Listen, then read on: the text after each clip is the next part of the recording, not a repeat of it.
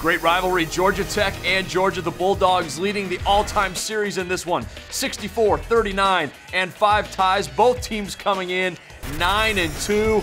The Georgia Tech defense stepping up. Second and goal for UGA at the one. Isaiah Johnson picks Nick Chubb, forces the fumble. Tyler Marcordes recovers for the Yellow Jackets. Huge play for the Yellow Jacket D. And then again, UGA inside the 10, inside the 5. Quayshawn Nealy stops Sony Michel, And there's Johnson recovering in the end zone for a touchback.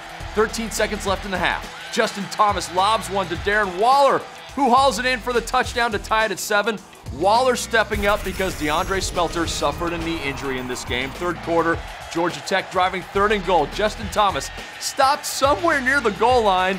Forward progress, where's that whistle? It never blows. The ball finally comes loose, and there goes Damian Swann the other way. 99 yards. It looks like a touchdown, I guess, but was he stopped? Should the ball have been whistled dead? Replay shows, hey, we're going to keep it a touchdown. Paul Johnson incensed. 14 7 Bulldogs. But the Yellow Jackets answer right back. Zach Laskey scores from four yards out. That's an eight play, 63 yard drive. We're tied at 14, and here comes Laskey again in the fourth quarter.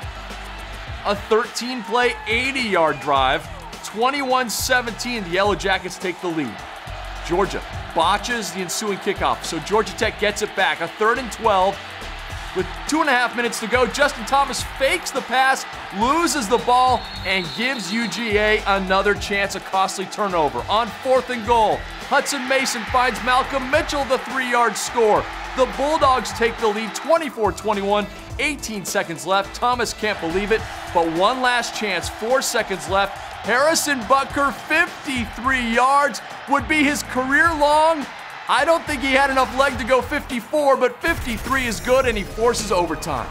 That's for the second straight year between these two schools, and Laskey, with Georgia Tech's first possession, he gets in from two yards out, a career high 140 yards for Laskey, but the PAT was blocked 30 24. Mason intercepted inside the 10 yard line by DJ White.